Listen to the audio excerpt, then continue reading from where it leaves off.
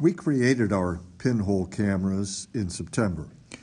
We hoped that we could see whether or not the sun moving across the sky would affect the photographic paper that we put inside our cameras.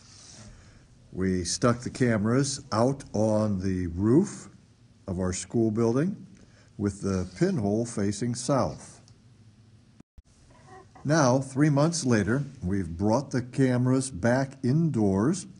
Uh, we're going to work in a small room where we've darkened out the window and we have a heat gun so that we can dry out the insides of the camera. Some of the cameras were pretty wet inside. So we'll cut off the lid. There it is sitting up on top. We'll take it off in a darkened room and then use the air gun, which is right here, to dry out the film. We put the lid back on the camera once the film was dried and then brought the camera down to the photocopier. We then put the piece of photographic paper on the photocopier and copied it. Now this is what the photographic paper looked like coming straight out of the camera.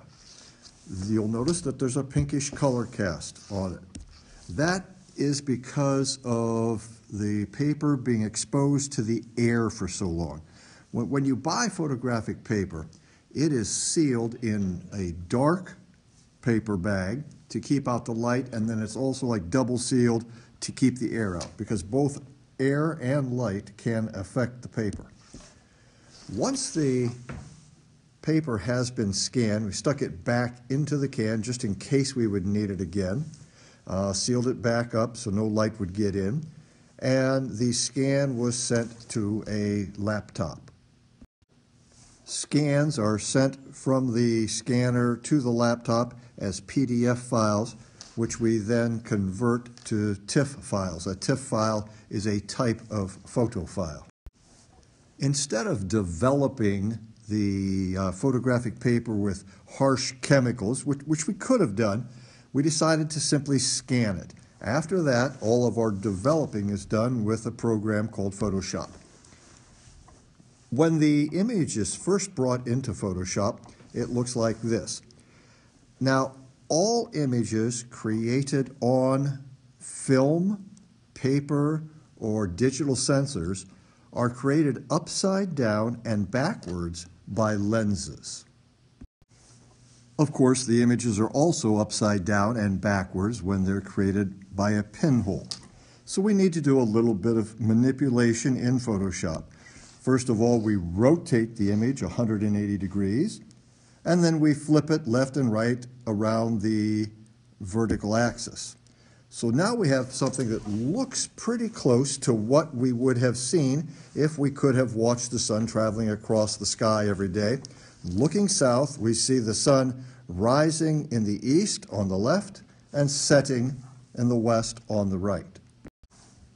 Just as a quick aside, if we divide the curve approximately in half, we notice that the curve on the left is different than the one on the right.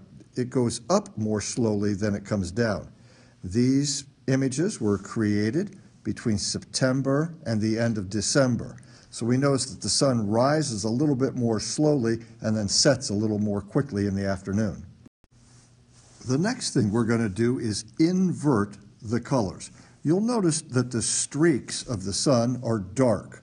Well, outside, they would really be the brightest thing.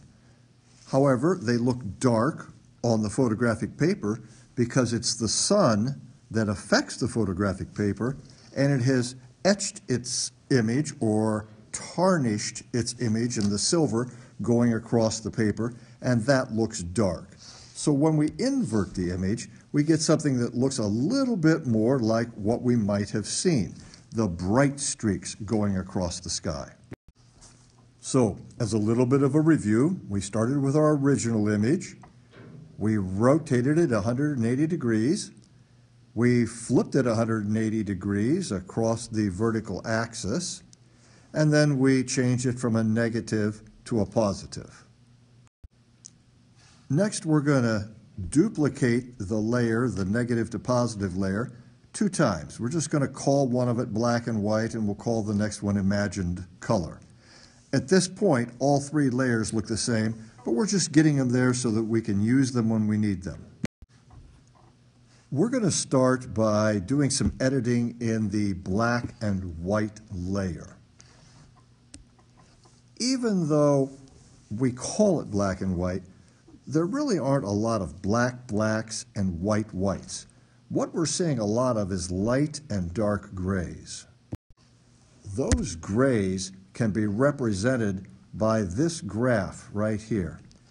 Uh, the blacks are listed here, the middle tones there, and the highlights are listed here.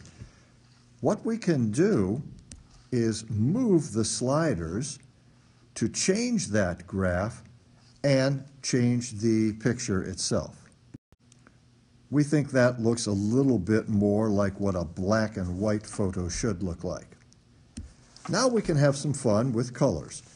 Even though it's a black and white image, it is still a color photo file. So we can add color to the file. What we've done is we've done a little bit of sharpening. We've then created a new layer that we called sepia from black and white.